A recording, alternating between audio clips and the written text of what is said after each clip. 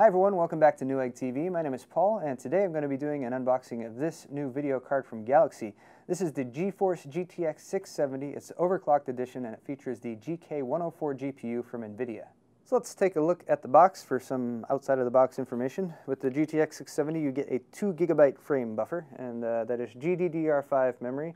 It's clocked at 6.0 gigabits per second, runs at 1500 megahertz and it's 256-bit interface. That gives you a total memory bandwidth of 192 gigabytes per second. Uh, so some screaming fast memory on this card. You also get a three-year extended warranty from Galaxy.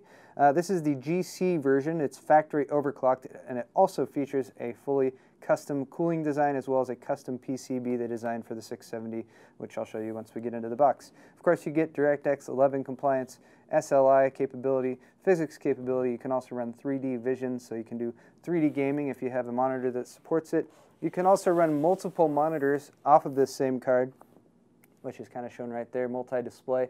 So you can set up three monitors for surround gaming, and then you can even add a fourth companion monitor where you can pull up uh, an instant messenger or web browser or something like that. Uh, so you can actually run up to four displays off of this single card, which is just pretty awesome. Um, I'm going to leave it at that for the outside of the box. Actually, though, wait, where'd it go? I lost it. Here it is. Uh, I did want to point out some of the features you get um, because the GTX 670 does get a lot of the same features that you saw uh, with the GTX 680, such as uh, GPU boost. You also get support for TXAA, which is a new anti-aliasing method from NVIDIA. Also adaptive vertical sync, which makes sure that you don't lose frames if your frame rate drops below the frame rate of your monitor. Uh, surround technology, and then all this other stuff listed right there. So next up, we will take a look. Well, we're going to look at accessories first, and we'll save the card for last. But uh, inside the box here, you have an intention customers register your Galaxy graphics card, and then you can make take advantage of that three-year manufacturer's warranty that we saw on the front of the box. Here's the video card. I'm very excited to take a look since this is a custom design from Galaxy. We're going to delay it for just a few moments though so we can cover all of our accessories first. So inside the box here we have a uh, sort of standard DVI to VGA adapter. So if you have an older monitor, you can use that to plug it in. I recommend not using an older monitor for the VGA adapter because it's not going to be as good of a picture. So get a new monitor if you get this card, that's what I'm saying. Uh, you also get a couple power adapters here. So these are, we'll both take a couple of your Molex plugs, route them over to uh, a 6-pin PCI Express plug and an 8-pin PCI Express plug. Those are the power requirements of this card. You need a 6 and an 8-pin. It's overclocked, it's custom designed, so it's a little bit more than the standard 670, which uses two 6-pin power connectors. Uh, you also have the GTX series user's manual right there from Galaxy with the table of contents and some requirements and unpacking and general installation instructions. You get sort of a quick guide here that you can fold out. It's got some more diagrams and stuff for installing the card. I know it's upside down. I don't care. And finally, you have your Galaxy uh, graphics card driver installation disk.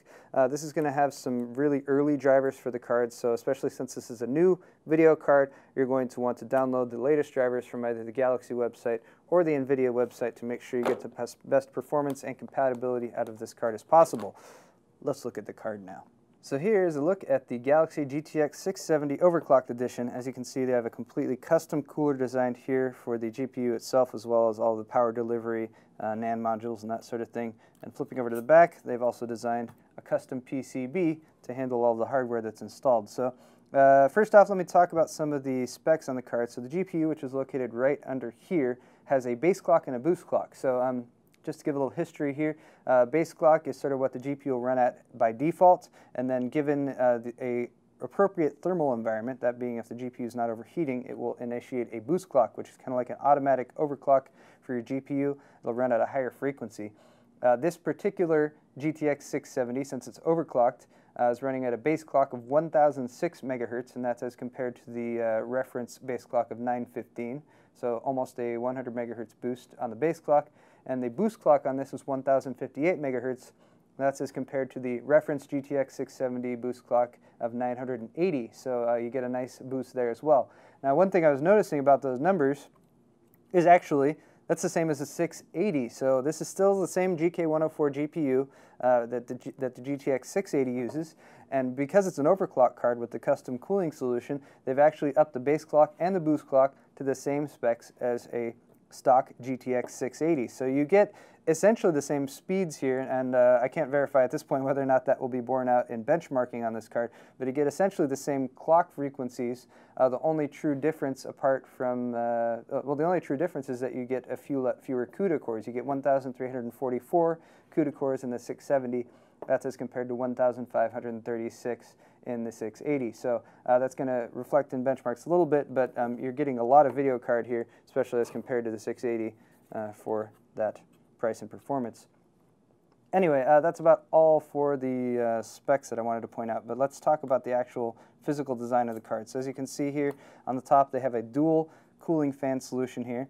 They have a very attractive uh, aluminum metal covering that's going around the entire cooling solution. So top to bottom right there, you can see Galaxy logo up at the top, GeForce GTX 670 down here at the bottom. It even says Kepler right there, code name of the GPU architecture. Uh, it's got some plastic reinforcements around the side, and there's actually some LEDs that will turn on to give this to make this card light up when it's turned on. So, uh, pretty cool design there. If we look at it from the side here, you can see they have four nice fat heat pipes that are running from the actual contact plate that's on the GPU right there, uh, going out into the radiators, which are located beneath the two fans. Also, if you look in here from the side, you can see the NAND modules, which are uh, situated fairly close to the GPU, so they're going to get plenty of airflow. Uh, one really cool design decision that was made here that you can kind of see is there's actually gaps all along the PCB right here. So there's gaps right there. There's a few more gaps over here on this side. So that's actually going to allow some additional airflow from the front of the GPU where you have more airflow coming from the fans to the back of the GPU. It's also going to allow some direct airflow uh, for your power delivery here. So if we look again from the side, as you can see, there's an additional uh, there, there's an additional heat sink that's right on top of your VRMs right here. So your, uh, your, your chokes also are situated to where those gaps are right in between each one. So it's going to give you some fresh air over those, keep your power delivery uh, area nice and cool. And that's going to give you more stable overclocks, especially when it goes into that boost clock, automatic overclocking mode. Uh, it's going to make sure that your components are within a temperature range to be able to do that. Let's move on to power delivery again. Uh, we're talking about the actual power connectors here. So you have a 6-pin PCI Express power connector and an 8-pin PCI Express power connector. Uh, and Galaxy is recommending a 550 watt minimum power supply for a full computer system with this video card installed. I typically like to go a little bit beyond the uh, recommended power supply wattage, um, but just bear that in mind if you are going to be installing this on an existing system. Uh, also wanted to point out up here you have, of course, your SLI connectors. Uh, this card is uh, fully compatible with SLI, so if you want to run uh, two, three, or four card uh, SLI, four-way SLI configurations, you can. This being a two-slot card, as you can see, uh, in most motherboards that support quad SLI, should be able to fit all four cards. I also like to point out that it's open along both sides here, so as that air is being pushed over the, the parts of the video card that are going to get hot, it's going to be ejecting it out all sides. So especially in an SLI configuration, it's going to give some additional ventilation, particularly on this side of the card, uh, which is typically exposed when you have SLI set up like that. So um, overall, very uh, unique design for the card. I like the gaps in the PCB here on the back. Um, also want to point out, of course, the uh, actual video outs. So here are your two DVI outs. They're both dual link DVI. Uh, upper one here is DVI D, which is digital only. So if you're going to use that analog adapter, use it with the lower one because this one doesn't have analog connections. Bottom one is DVI I, so both digital and analog outputs available through that. Both of those are dual links, so they'll support higher resolutions such as 2560 by 1600. And of course, you also got an HDMI 1.4a connector and a DisplayPort 1.2 connector. And finally on this bracket, as you can see, two slot bracket, and you get some additional ventilation right there at the top. And here's just one more shot of a little bit of the design detail on the card. As you can see, you got a Galaxy logo along the uh, heatsink fan bracket on this side. Kind of has a little line that goes along there, and, and it's got a squiggly at the end because they wanted to mix things up. If you flip around to this side, you can see they've, uh, again, done the Kepler logoing, which uh, you typically don't see. Usually the code names, uh, they don't use as much on the actual branding of the card, but again, uh, some nice detail there along the side on that metal bracket. I did have a chance to check and verify the LEDs on this card, so uh, just to clarify here, uh, the LEDs are not actually part of the fan, they're part of this logo down here at the end. So where you can see the GeForce, G, the GeForce GTX 670 logo right there, lights up with a blue LED behind it, and it actually sort of pulses on and off while the card is in use. Uh, next up, we're going to get into some benchmarks we ran on the uh, on this Galaxy GTX 670. And I wanted to mention, um, when you're looking at reference specs for the cards, they will list a uh, base clock that the GPU runs at and also a boost clock that it can run at um, when it has the thermal environment permitting. Uh, the base clock for this card is 1006 uh, megahertz and the boost clock is 1058 megahertz. Now um, that is the exact same base and boost clock as the GTX 680, uh, but one other thing is that, that, I've noticed is in practice, the boost clock will actually go up higher than the listed specs.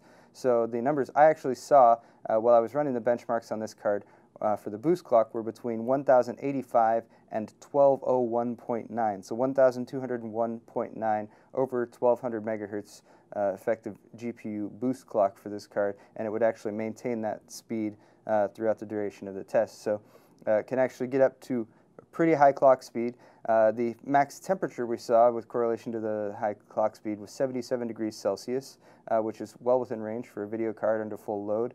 Uh, and even at 77 degrees Celsius, the max fan speed we ever saw was 43%, so it still stayed nice and quiet even under a full load at 2560 by 1600.